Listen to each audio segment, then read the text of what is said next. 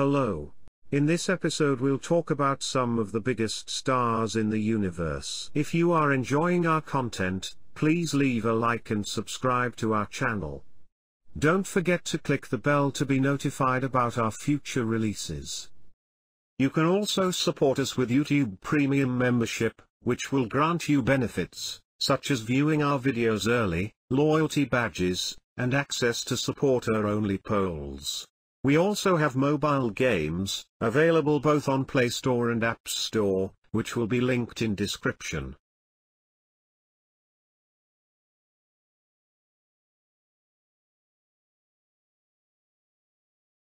Sun is the biggest star and the largest object in our solar system, thanks to which it is possible to live on Earth. It is so large, that we would have to drive on its surface for five years with a speed of 100 km per hour to go around it. However, on a cosmic scale, the Sun is just an average small star, if we compare it to the giants that roam the void of space. In this video we will show you the compilation of stars where the Sun is just a tiny ball.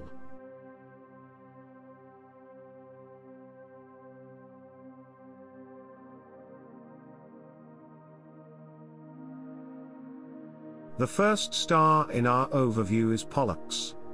Pollux is the 17th brightest star in the night sky. Its mass is about 1.8 times the mass of the Sun, and its diameter is 9 times bigger than the Sun's diameter and is as much as 12.5 million kilometers long. Pollux is more than 33 light-years away from our solar system, and it is already an orange giant, which means that it has exhausted the hydrogen in its core and has begun to explode, slowly ejecting its outer shell. A similar fate awaits for our Sun when it also runs out of fuel. The temperature of Pollux's surface is approximately 4666 kelvins, which are about 1,270,000 Celsius degrees. The brightness of Pollux is 46 times bigger than the Sun. There is a planet that is circling the Pollux, called Thestias. This planet was discovered in 2006 and it is a gas giant, which circulates Pollux at a distance of one astronomical unit.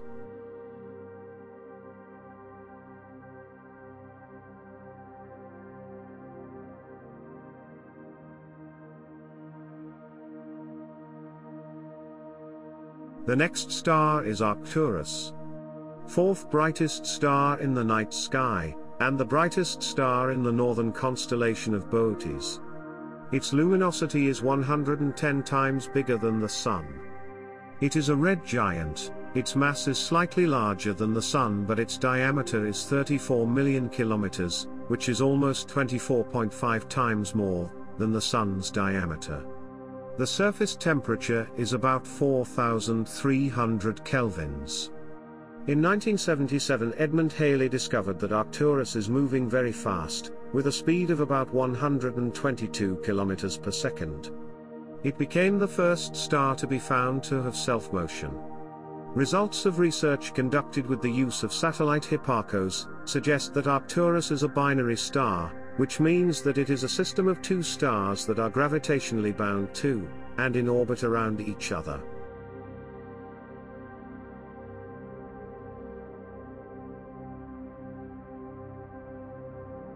Further on our list, we got the brightest star in the Taurus constellation called Aldebaran. It is a binary star consisting of red giant Aldebaran A, and smaller than the Sun gas giant Aldebaran B. The mass of Aldebaran is 1.7 of the Sun's mass, but its diameter is about 44 times bigger. This star shines 420 times brighter than the Sun.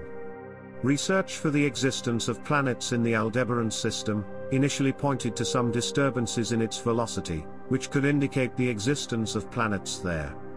However, studies of similar stars have shown that reactions within the stars themselves are very likely responsible for this. The most recent study proved that there is a planet orbiting Aldebaran after all. It is actually a gas giant 6.5 times more massive than Jupiter, that circles its star in just over one and a half years.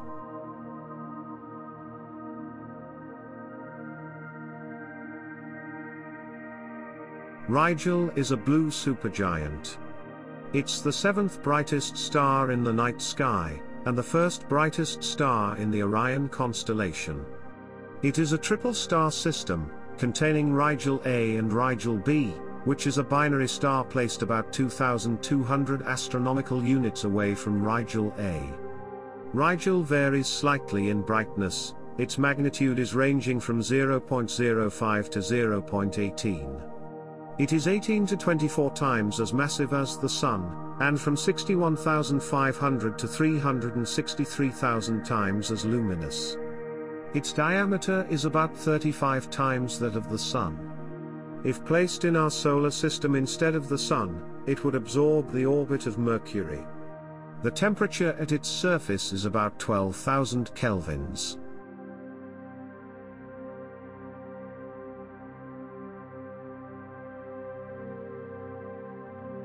Antares is a red supergiant. It is the brightest star in the Scorpius constellation. This star is placed 550 light-years away from the Sun and it is 10,000 times as bright. The mass of Antares is 10 times as mass of the Sun. Its diameter is about 1,182 million kilometers. If placed in the solar system instead of the Sun, it would absorb its whole internal part, even the asteroid belt.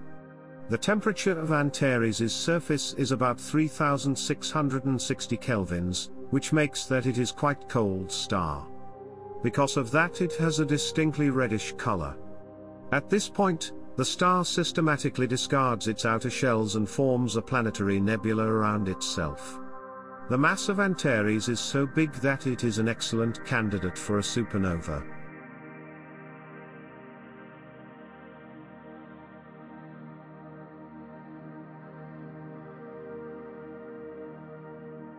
Betelgeuse is a red supergiant in an Orion constellation, and the ninth brightest star in a night sky.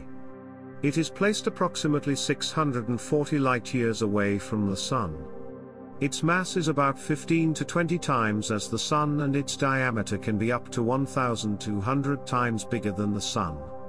If placed in the solar system as a substitute for the Sun, it would reach far beyond the orbit of Mars, and Jupiter would bask in its incandescence. Betelgeuse is so large that the largest telescopes on Earth can notice its disk, not only the spotlight like with the most other stars in the night sky. There's a chance that in our lifetime Betelgeuse will spectacularly turn into a supernova.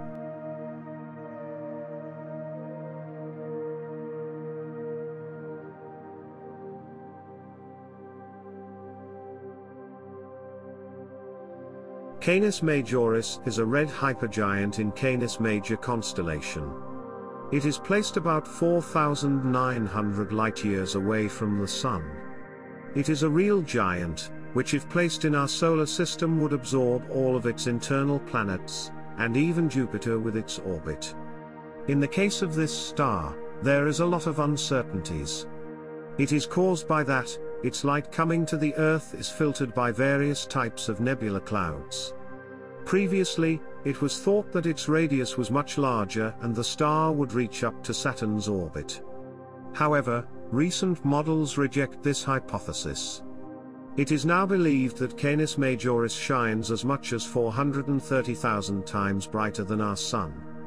It is so large that light would take as much as 8.5 hours to circle it.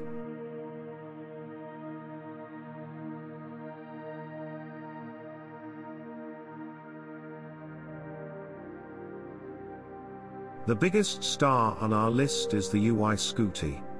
It is a red supergiant placed approximately 9,500 light-years away from the Sun, and it is 340,000 as bright. Studies have shown that it is a star so large that if it were placed in the center of the solar system, it would absorb the orbit of Jupiter and could even reach Saturn. Similar to Canis Majoris, it would take a few hours for the light to go around the UY Scuti. Even though it's such a huge star, we can't see it without a telescope, because it's placed 4,900 light-years away from Earth.